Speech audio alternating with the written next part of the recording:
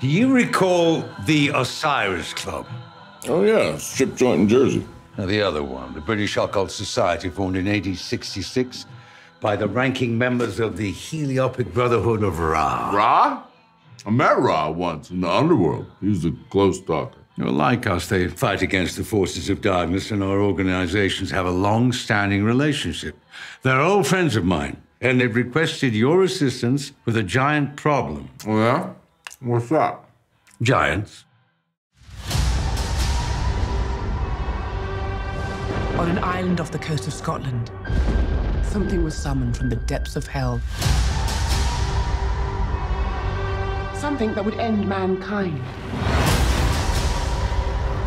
And this uh, thing you worried about, did it show up?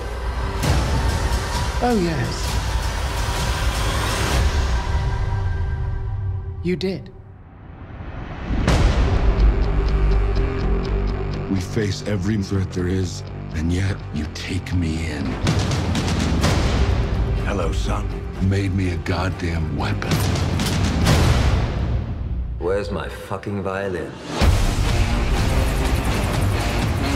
Listen up, ladies and gentlemen. Out there, there's a 5th century sorceress who wants to bring down the curtain on London and the world. Great. Homework. Why do you fight for those who hate and fear you? You were meant for this. Out of the ashes, new Eden will emerge. Okay, I'd appreciate a prophecy with more relatable stakes. Haven't we got to be saving the world or something? Yeah, okay, come on. Let's get your game face on. Yeah, come on, let's do this.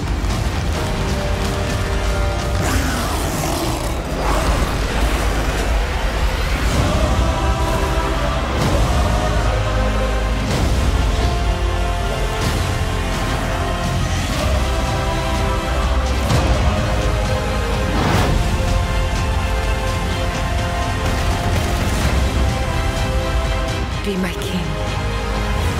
We belong together, you and I.